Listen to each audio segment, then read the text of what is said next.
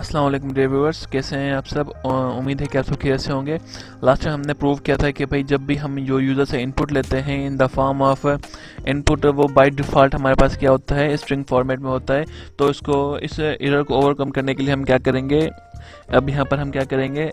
हमें अब data type justify करना पड़ेगा। Let's suppose A is equals to int ठीक है?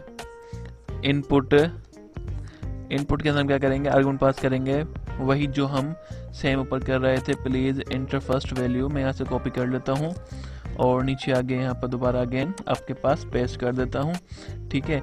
अब मैं क्या करता हूँ, इसे दोबारा से कॉपी कर लेता हूँ एंड अगेन सेकेंड लाइन पे प्रिंट कर देता हूँ, लेकिन मैं इसका वेरिएबल चेंज कर देता हूँ बी और यहाँ पर लिख देता हूँ सेकंड वैल्यू ठीक है? ना कि फ़र्स्ट वैल्यू हमें चाहिए सेकंड वैल्यू अब मैं इसको क्या करता हूँ अगेन ऑपरेशन परफॉर्म करता हूँ प्रिंट का ए प्लस बी के अंदर, ठीक है?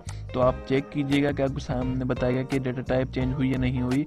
होपफुल मैं इसको एग्जीक्यूट करता हूँ।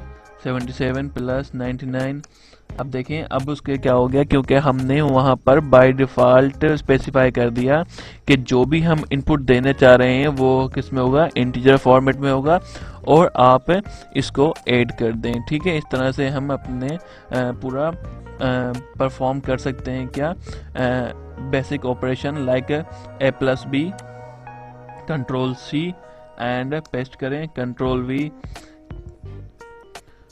control V and control V A my A plus B A minus B A multiply by B and last में ए डिवाइडेड बाय बी ठीक है, इसको एग्जीक्यूट करते हैं। तो फ़र्स्ट वैल्यू हमारे पास 33 है सेकंड वैल्यू है हमारे पास 11 तो अगर हम इस पर ऑपरेशन परफॉर्म करेंगे तो देख सकते हैं।